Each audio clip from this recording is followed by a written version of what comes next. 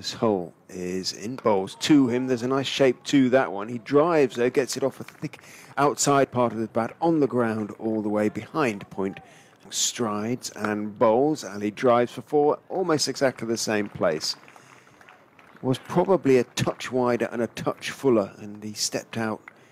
Wright is in, bowls, short, pulled decisively away by Haider Ali, who has very quick hands. He fastened onto the length of that for Sol Budinger at mid wicket to get anywhere near it. All he can do is uh, jog back towards the boundary.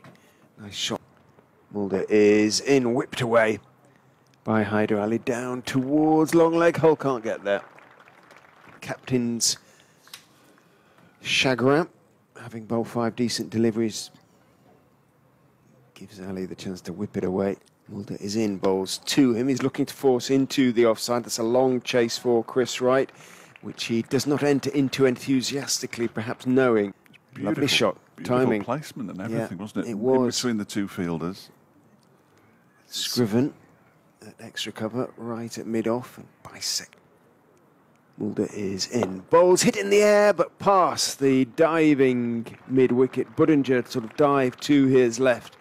Haider Ali hit it pretty hard. Was in the air just about as it went past him, reaching in the dive and crosses the ropes at mid wicket for four.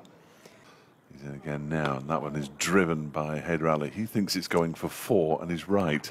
I didn't think it was. React, and uh, Michael Finan was slightly disappointed to concede a boundary there, but Haider Ali moves it to the 40s. He's on 42. Chris Wright is in, and that one is pulled into the leg side. It's in front of square. The fielder is running around the boundary and keeps it in with his left foot, although he was sliding. He's booted it in the air. They come back for three, and Haider Ali has his second half century of the season. 51 from 59 balls. Haider Ali, it's been a terrific knock from him.